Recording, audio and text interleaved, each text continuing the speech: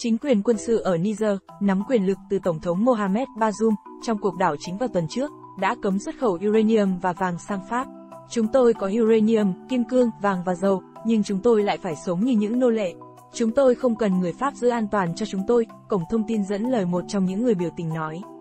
Lệnh cấm xuất khẩu vàng và uranium sang Pháp có hiệu lực ngay lập tức.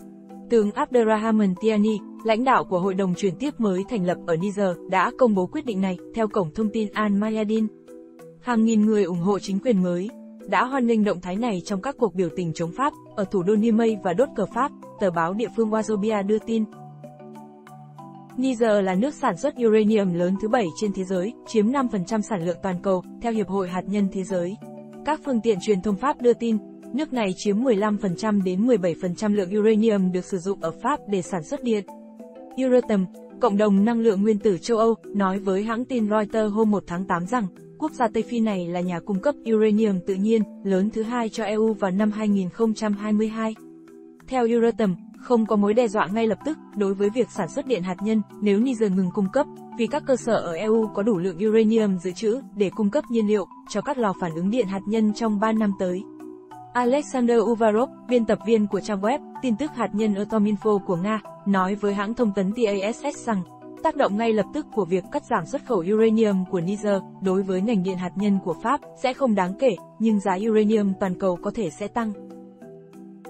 Công ty nhà nước Orano của Pháp, điều hành một mỏ uranium ở Niger, cho biết hôm 1 tháng 8 rằng, họ đang theo dõi tình hình an ninh, ở thuộc địa cũ của Pháp này. Chúng tôi tuân thủ chặt chẽ các hướng dẫn, do Đại sứ quán Pháp đưa ra, để tạo cơ hội cho nhân viên rời khỏi Niger nếu họ muốn, đại diện công ty Orano cho biết. Trước đó, công ty Orano đã thông tin rằng, các hoạt động khai thác sẽ tiếp tục, bất chấp các sự kiện đang diễn ra. Ngày 1 tháng 8, Pháp tuyên bố sẽ sơ tán công dân Pháp và châu Âu, khỏi Niamey, thủ đô và thành phố lớn nhất của Niger, với lý do các cuộc tấn công vào đại sứ quán của họ, sau cuộc đảo chính vào ngày 26 tháng 7. Trước đó, vào ngày 30 tháng 7, chính quyền quân sự ở Niger khẳng định lực lượng an ninh Pháp đã tấn công những người biểu tình tuần hành, ủng hộ cuộc đảo chính, và họ phản đối sự hiện diện của Pháp tại nước này.